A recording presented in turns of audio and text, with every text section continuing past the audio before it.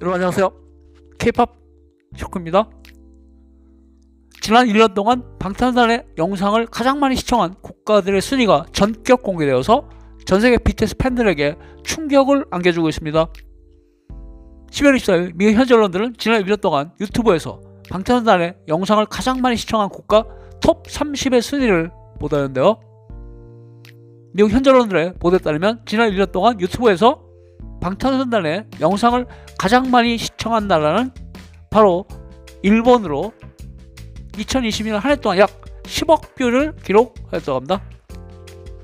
일본에 이어서 인도가 지난 1년 동안 약 8억 뷰를 기록해서 유튜브 BTS 최다 시청국가 2위에 올랐다고 합니다.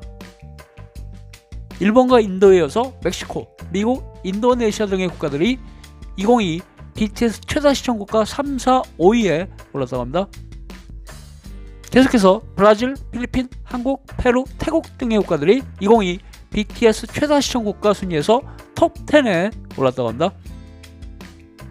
방탄소년단의 모국인 대한민국이 2022 BTS 최다 시청국가 8위에 그친 것은 일본 1억 2천만 명, 인도 14억 명, 미국 3억 4천만 명, 인도네시아 2억 8천만 명, 멕시코 1억 3천만 명, 브라질 2억 2천만 명, 필리핀 1억 2천만 명 등 이들 국가들이 한국보다 3배에서 30배까지 많은 인구를 보유하고 있기 때문인 것으로 알려졌는데요.